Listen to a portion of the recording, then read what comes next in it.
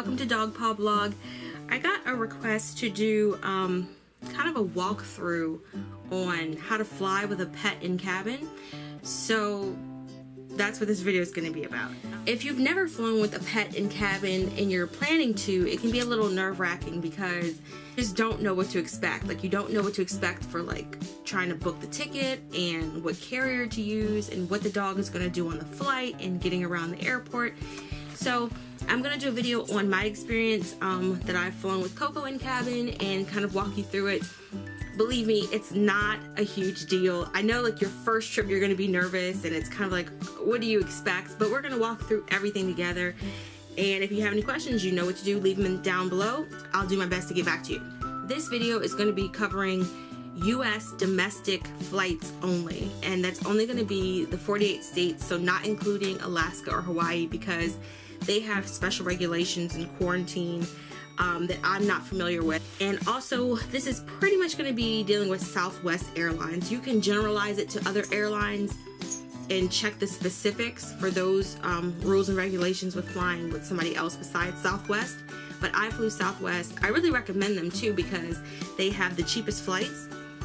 They have the two free check bags and they have the cheapest pet fee. So currently Southwest, their pet fee is $95 um, and that's each way that's coming and going. Southwest also does not ship animals as cargo. So this video is going to solely, strictly be about flying with an in-cabin pet, meaning that your dog is small enough to go in a carrier that fits underneath of the seat in front of you. And I'm going to be showing you some carriers that I've used as well as some other like little accessories and stuff. So here we go. We're just going to break this down. I'm going to include everything in the description bar for you guys. So the first thing you need to think about is prep work, right? The pre-planning part of the trip. So ideally you've already figured out where you're going and that if you're doing like a pet friendly rental, where you're going is pretty pet friendly if you're taking your dog, right? So now you just need to book your flight. So what I recommend, and again this is specifically for Southwest because Southwest is one of the few airlines that does not guarantee your pet reservation. So I'm gonna walk through that. You would um, pick the flight that you need online, like know what that is, know your flight number, call the reservation number, and ask them, I'm thinking about booking this flight. I just want to verify you already haven't exceeded your allotment for pets in cabin. Because most is between like four and six. Most airlines are four to six for their limit of in-cabin pets. Now, service dogs and emotional support animals do not count towards that number. So once you've talked to someone, they say, oh no, you're okay. We only have like one or two people that have a um, reservation for their pet. Book your flight. Call back and tell them, okay, this is my flight information. This is the flight. I'm bringing my pet. And they'll make a notation under your, your reservation that you're bringing a pet. Here's the catch with that, with Southwest not guaranteeing your pet reservation. Really, with Southwest, it's first come, first serve. So it's when you check in. So if you've already got your dog and you're on your way, but you're late, and six people have already checked in with their pets before you, you can be denied boarding. Well, your pet can be denied boarding. So what they recommend is that you get there three hours early. So typically, if you're flying, you get there like two hours before departure. That gives you time to go to security and find your gate and get settled and not be late. When you're flying with a pet, it's three hours that gives you time to make sure you've checked in really early so you're not out of luck when it's time to board with your pet. And we're gonna talk about what you're gonna be doing during those three hours waiting around in the airport. So you're, you're gonna be glad you got there early. One, so you make sure that your pet can get on the plane, and also that you've got time to do stuff that you need to do with your dog before you get on the plane. So that's what you're gonna do. You're gonna go online, figure out the flight, call, ask if they already have met their limit. If not, book the flight, call back, make the pet reservation. Oh, and I talked about the pet fee. It's $95 at this time both ways, like one way each, $95 for the pet fee. Think about once you're um, needing to get to the airport and once you get to the, your destination, are you gonna be using taxis? Are you gonna be using rental cars? A lot of taxis don't allow dogs, like, you have to have them in a carrier.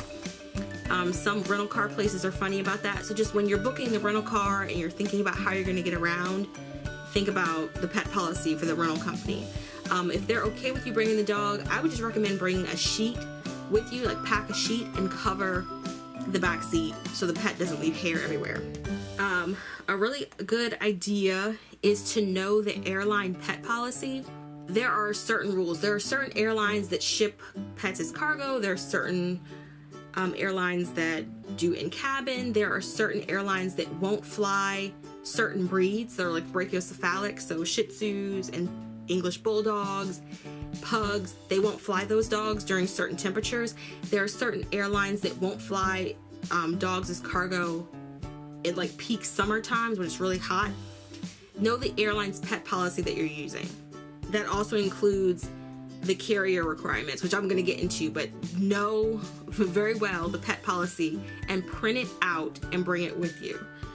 Because if you ever run into an issue, you want to be able to like, no, here's your website's information. Like this is this is what your your rules are, and also get the customer service number too. Like if there's a problem, a lot of the airlines will have a customer service line that you can call for help.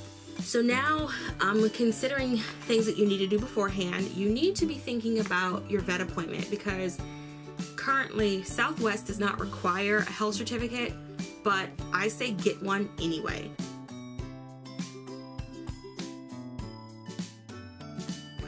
Because you never know if something's going to happen to your flight and you need to reschedule or rebook with another airline like last minute like you're traveling and something happens and you need to be rerouted get a health certificate anyway. They're not that expensive. Now for other airlines it can't be more than 10 days old 10 days yeah 10 days old from your departure date. Don't worry about your um, coming back flight it's your original flight out. They'll do an overall health check, probably do like a fecal sample test, and at that point you want to make sure they're up to date on all vaccines, get a rabies certificate, and at this time if your pet's not microchipped, get them microchipped. Also, at the vet appointment, I recommend talking to your vet about sedation. So there's two schools of thought with sedating a pet on a flight that it's not good for them because they can't really regulate their breathing, they can't pop their ears, it can make them disoriented and they can get scared and that can freak them out even more. That's a possibility. The other school of thought is sedate them so they can sleep the whole time so you're not worried about them barking or having to go to the bathroom. So talk to your vet and they can give you the best advice and the best medication for your dog.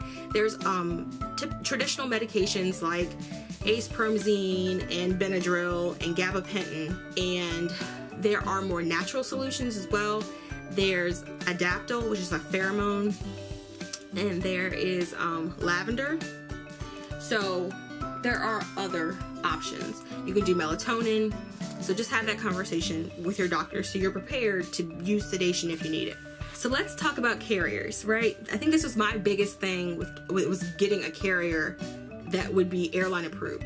So the airline regulations are so ridiculous. There's no carrier that fits a medium sized to normal sized small dog that fits the, the dimensions listed on the airline website.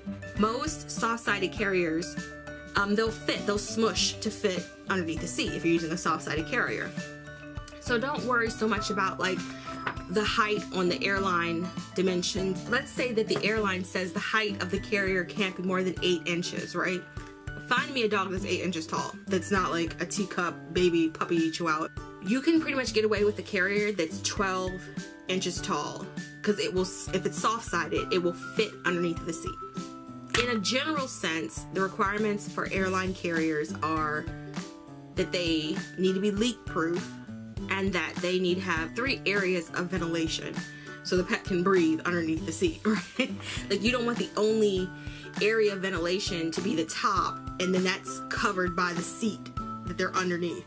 You want like at least three areas of airflow for um, the pet. I will say three brands that I have heard have had the most success rate for being approved on the plane is uh, Sherpa, Sleepypod, and SturdiBag. Um, I've done a review on the SturdiBag Large, which exceeds in measurement the airline requirements, but it fit fine underneath the seat, so I'll leave a review for that. Okay, so this is one option for airline approved carrier. It is by Bergan. So you'll see that it does have three points of ventilation. That's because once this side is covered up with the chair that it's going to be underneath of, the pet still has, you know, space for air to pass through. What I like about this carrier is that on the zipper here, there's a way to secure it so they clip together so the pet can't get the zipper open and there is some external um, storage. I'm to do a full review on this carrier though, but just to show you that it does flex to fit underneath of the seat. It does not leave your pet very much room, but if they're laying down and they're small, it's not so bad. But that's how this fits underneath of the airplane seat. It folds down like that. Now, it does have a, like a little pad in there that velcros down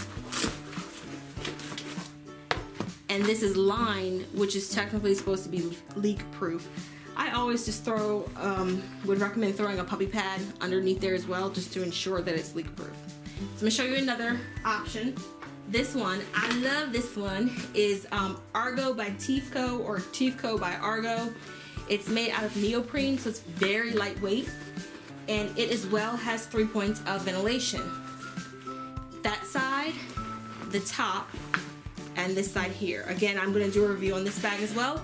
You do get a lot of external storage for this one. You do not get the zippers that um, lock in place. That's just a little little pad that I put in there. But this does have a leak-proof bottom. Very durable. leak-proof bottom there comes out and you do get a tether as well. This bag looks like it's not see-through, but when I do the review for this, you're gonna see that from the animal's perspective, they can see of this pretty well. So that's another option for you, airline approved. And now for the SturdiBag. This is one of the three brands that I mentioned earlier that has the highest rate of approval for in-cabin pets. So this is the SturdiBag Large and it exceeds the measurements of most airlines in cabin carrier, but it does flex down to fit. I have a review of this bag already, so if you want to check that out, I will leave a card for it. But it does have three points of ventilation. There's the front, the top, and the back. Three points of ventilation. Uh, most of these bags have a comfort spot where you can stick your hand in and pet the dog. All three of them do. When I do the review, I will show you and you can see this one now. So those are the carriers and they are of course, airline approved. Getting your dog used to the carrier. I would say take the carrier out a month before the flight. Leave it out on the floor open all the time. Feed them next to it, put their favorite toy in it, put like a, a bully stick, their favorite treat, a Kong, something in it so they associate that carrier as nothing frightening, nothing's happening, and it's all good stuff is happening. I also recommend taking the dog in the carrier in the car and putting the um, carrier on the floor and driving around like that because that sensation of the the car vibration and the sound mimics the engine and the feel of being on a plane and they'll be used to being on the floor in the carrier while something's moving. Another option is that on YouTube there are playlists that have airplane sounds. Have the dog be in the carrier and play those sounds as well and get them used to it. And you want to make everything positive. Like don't do it for a really long time. Don't do it if the dog is freaking out. Start with really short amounts of time and then you can extend those as you go on. That's why you're doing this like a month ahead of time because it gives the dog time to get used to it. So don't keep them in there for the first time for like three hours and they hate it and never want to get back in it. Do it for like 10 seconds, do it for 30 seconds, do it for a minute, do it for five minutes, do it for 10 minutes. And just keep building and make it exciting and fun and then make a big deal about it that they're doing so good. One tip that I was told as far as like if you're going to have a problem with the carrier when you when you get to check in or oh it's too big those three brands are so popular. There are so many pictures of dogs in them on the plane. Find a couple of those and print those off and bring them with you because they're like, oh no, it's not gonna fit, it's too big. Be like, no, this is this carrier underneath the seat of an airline. I did that with Coco's SturdiBag. I didn't have to show it, but it was good to have. Um, so they can see, okay, does fit underneath the seat. I recommend getting a luggage tag um, that has like your information on it you know, email, cell phone, where you're going to be like in the airport or something if something happens, and putting that on the luggage tag, as well as carrying recent photos of your pet as well. Like keep that on, and I'll show you the one that I use. I have a name badge, and on one side it's just Coco's picture, and then on the other side it's the flight itinerary and my contact information. So I recommend putting that on there. The flight. What is your pet going to be doing on the flight for five hours, right? Or in the gate area, because you figure if you got there three hours early and you're going to be on the flight for however long, and they're going to need stuff to do. I recommend getting toys that they don't play with the more new to the dog they are, the more interesting they're going to be. Um, pick toys that do not have squeakers in them because you don't want your dog to be squeaking away on this toy and disturbing the other passengers. And also chews, some kind of chew that will not smell. I feel like the cow ears don't smell and they don't get too messy.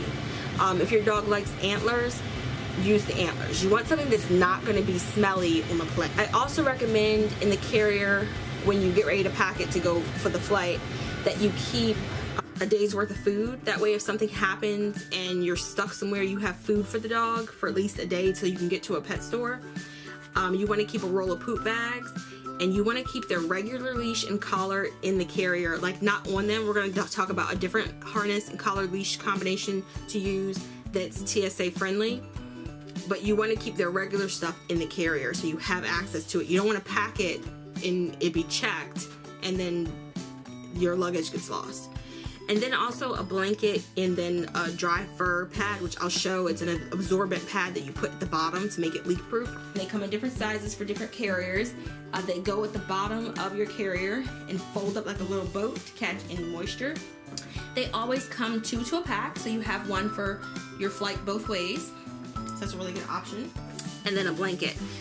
Um, what you want to do with the blanket is because it can get pretty cold on a plane and so you want the dog to have something to get warm in like to, to burrow under to get warm and also if you sleep with the blanket like the night before it'll smell like you and that should calm them down also for the blanket if you're using the natural pheromones you can spray those that melatonin that lavender those calming sprays, you can spray those on the blanket and it should calm the dog down. The other thing I want to talk about is the Fast Pass harness and leash. So like I said, keep their regular leash with all their tags and all that stuff on it in the carrier.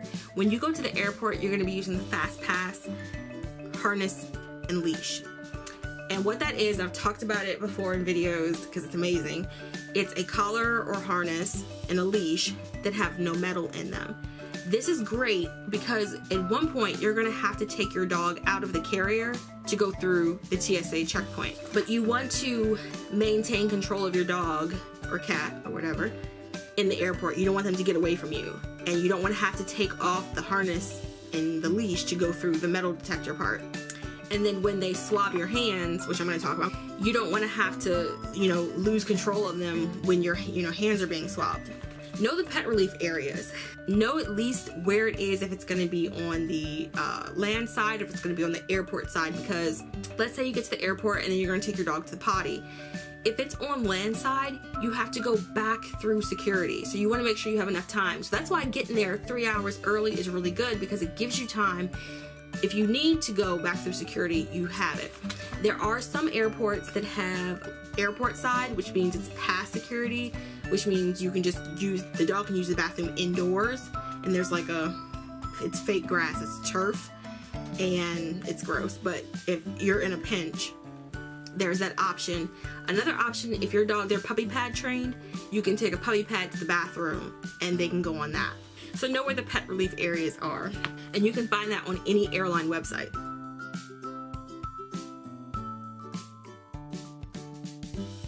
So now we're going to talk about the day of travel, getting to the airport. So before you leave, I recommend exercising your dog, taking your dog for a pretty vigorous walk to tire them out because a tired dog will likely sleep, hopefully, for the whole flight. Clip their nails before the flight because they can claw through that mesh. A lot of the um the carriers are just like the mesh and the dogs can get in there and tear them up. So cut your dog's nails.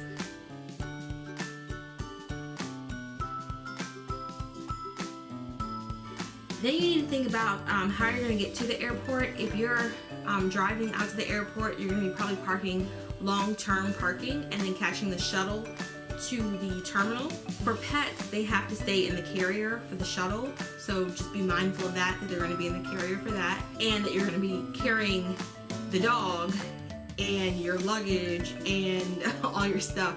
So kind of think about when you're packing, try to pack a little light because you're gonna have to carry so much. You're taking a taxi, I think the same thing, just make sure that you can actually bring your dog there, bring them in the taxi.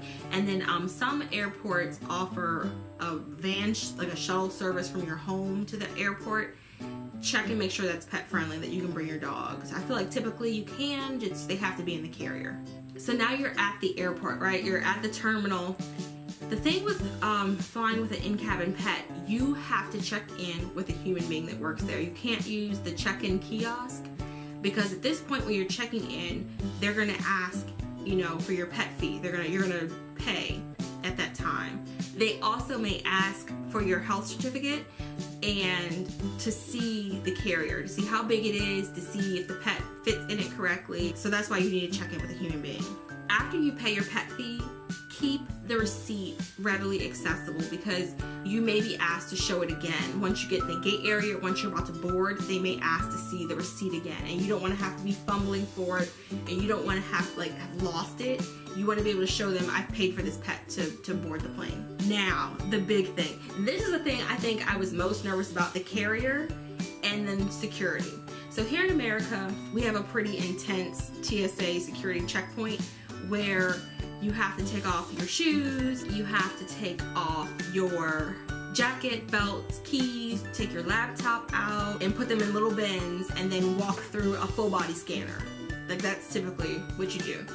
Um, some airlines offer pre-screen where you don't have to do any of that and you just go because you've already cleared whatever kind of whatever they do for pre-screen. Southwest is one that offers that. I don't know if it's additional, I don't remember you can select it and they put you on the pre-screen list and you just go right through. So let's talk about the traditional way because that may be what you have to do. Walk up to the first TSA person who looks at your boarding pass and asks for your ID and they like they check some stuff off, they mark on it, and they give it back to you. At that point, when they notice you've got the pet then, they tell you to go a certain place. You have to take all your stuff off and put it in bins. You have to take the dog out of the carrier and put the carrier on the conveyor belt and send it through. This is where that TSA fast pass thing is going to come in handy because you need to maintain control of your dog. And then that person tells you to come through the metal detector instead of the full body scanner. You just walk through with the metal detector. At that point, the person is probably going to say take off the collar and leash. Just let them know if you have the fast pass leash and harness that there's no metal, it's for T TSA security checkpoint, it won't set the alarm off, blah, blah, let them know, and then go through. At that point, once you've gone through, they're gonna tell you to wait. If you get a nice TSA agent, they will ask where, where your stuff is. Like they'll say, is this your stuff? And they will get a bin they'll, and they'll put all your stuff together and carry it for you off to the side so no one steals your stuff. If it's busy and they don't have time to do all that, you're gonna kind of be waiting off to the side till someone can come up and get you. So hopefully you're traveling with someone um, and they can watch your stuff because you're not allowed to get your stuff until you get your hand swabbed if you have to stand there. So ideally you're traveling with someone and they can watch your things. So then someone will come up and they just they swab one hand and then they let you switch your pet over to the other arm and then they swab the other hand for explosives. Once you're clear, get your stuff and you're gonna be trying to find your gate area. That's it, that's it's really that easy. You just you take your stuff off like you would normally do unless you're doing pre-screen. You walk through the metal detector with your dog.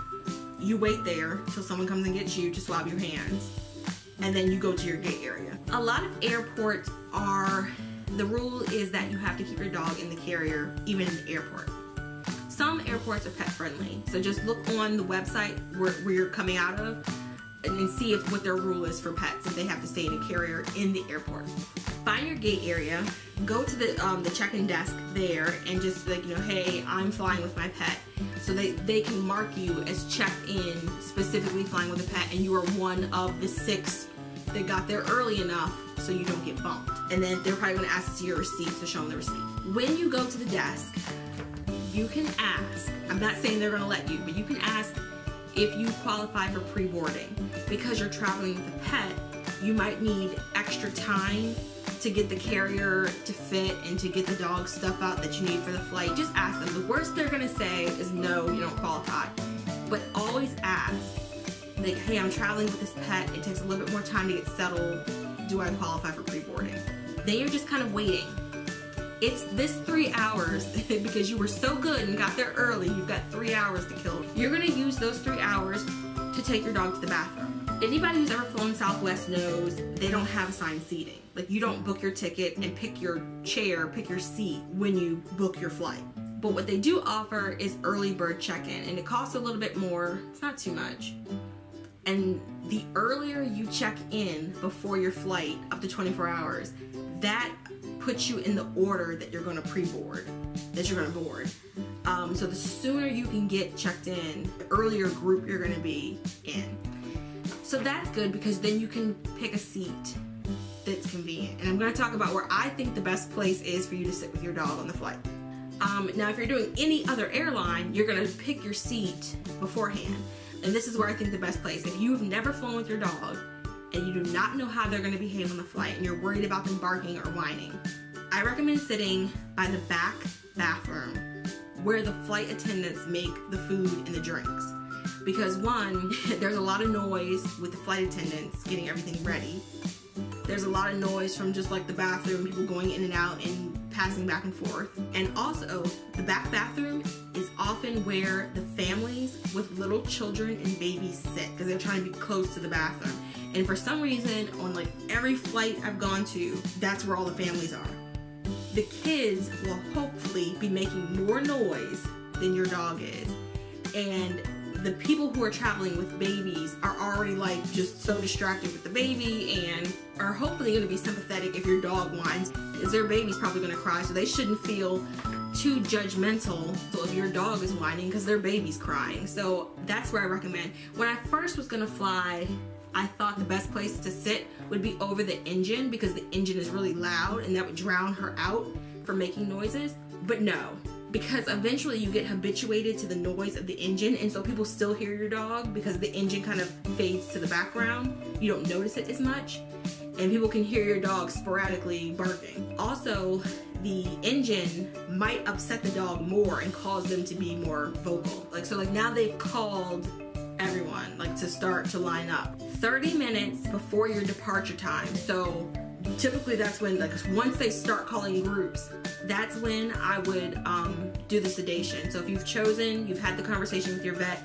and they've recommended some whatever sedation whether it be traditional medication or it's a natural whatever 30 minutes before your departure time give your dog the sedative or unless you have specific because certain medications you may need to give earlier before the dog gets too wound up so whatever the recommendation is for your from your doctor give the medication while you're in the gate area. So it'll start to take effect and last hopefully for the flight. Now you're you're boarding the plane. So you know how you have to take your stuff and put it in the overhead bin and get your seat and the person that's in front of you is holding up the line. Don't be that person. Try your best, get into your seat, you know, put your stuff up, get into your seat, and then fiddle with getting the carrier in. Don't hold the line up trying to get the dog in and get your stuff and get situated. The dog counts as your carry-on, and so you can still have a personal item. Once everyone's seated, go back and get stuff out of your, your personal item. Or if your personal item is small enough to fit underneath there too. This is gonna be, you know, where you're using those um, those non-squeaky toys and those shoes that don't have any scent to them that's when you're going to be using those. I like to give ice throughout the flight. It's not her gulping down fluid, which is going to make her have to go to the bathroom, but it keeps her hydrated and keeps her cool by chewing on the ice. So ask the flight attendant when they come around, ask for a cup of ice and give that. You can comfort your dog during the flight. Like you can put your hand in the carrier and tell them it's okay and you can pet them, but you are not allowed to take them out you are not allowed to have them be half in the bag, half out the bag. And the carrier has to stay on the floor and it has to stay underneath of the seat in front of you. for the for the takeoff, the flight, and taxiing to the gate to land. Like, so now you're, you've made it through your flight. Your dog has been well behaved. Hopefully, there's been no incident. Once the plane lands, you know how everyone jumps up all at once, like they're all gonna be able to get out of the plane at the same time. Why? Why do people do that? You know, once the plane lands, you still have like five minutes of waiting for them to open the door. Just like you didn't want to be in the way when people were trying to board, you don't want to be in the way trying to get your dog and get all your stuff when people are trying to get off. I like to be the last person off just because it gives me time to make sure I have everything. I can pull her carrier out from underneath the seat and take my time and not feel like I'm in everyone's way because even then you still know you still have to wait for your bags to come from baggage claim. So why are you in a rush? Why are people, the minute the plane lands, everyone stands up. so it's like, you know you can't go anywhere yet. Make sure you have everything, get your dog. At this point, make your way towards baggage claim and let your dog go to the bathroom. Because that at that point, once you're at baggage claim, you're back on the non-secure side and there's just doors so you can just take your dog right outside and use the potty area. Oftentimes there'll be a pet relief area outside of baggage claim. Give your dog a chance to stretch their legs. They have been in the carrier for hours. The trip to the airport, they were in the carrier. The gate area, they were in the carrier. The whole plane ride. Give them time to stretch. You're still waiting for your bag. It hasn't even come off yet. Just just take your dog outside to go to the bathroom. Put them back in the carrier and then wait for your bag oh, get a cart at that point. When you come back in and put them in the carrier, get one of those those carts to put your stuff on. It'll be easier. Um, it's at that point where you'll probably get your rental car or you'll take a taxi to wherever you're going. So they'll be in the carrier for that as well. And then have fun. So yeah, that's it. Just you've made it. So now on your return flight, you'll already know what to expect in any subsequent flights. You've got this. See, it wasn't that bad, right? There's a lot of prep work for you to do in the beginning, but once you get the ball rolling, once you're going, the airport staff, the they know what they're doing. They do this day in, day out. Nothing is new to them. If you have any questions, if you need help, ask someone who works for the airport. Their job is to get you on the plane and to where you gotta go. I hope this was helpful. Again, I wanted to make this pretty thorough. I wanted to walk through every single step with you guys because I know when I was first flying with her, I was so nervous. I was I didn't know what to expect. So I'm going to include links to Southwest Policy, to Dog Jaunt, to her book, and then also where I get a lot of um, the supplies for flying with her in cabin. So if you have any questions, certainly leave them down below. I get I do my best to get back to everyone. If you've flown with your dog in cabin, let me know. Let me know how your experience was. Was there anything that you found that was different flying with a different airline? So I hope this video was helpful and thank you guys always for watching.